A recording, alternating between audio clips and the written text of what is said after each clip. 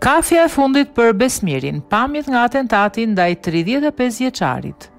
Mëngjesin e sotëm qyteti i Lushnjës u zgjua nga breshëri plumbash të cilat i dhanë fund jetës së tridhjetë e pesë vjeçarit, Besmir Hida është ekzekutuar në momentin kur po pinte një kafe në katin e dy të një lokali.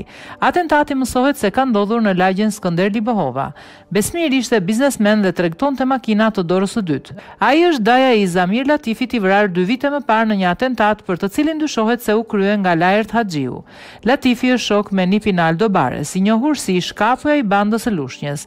Dyshohet se kjo vrasje ka lidhje me përplasjet e mëparshme midis dy grupeve atyre të Aldo Bares dhe të Laert Haxhiut.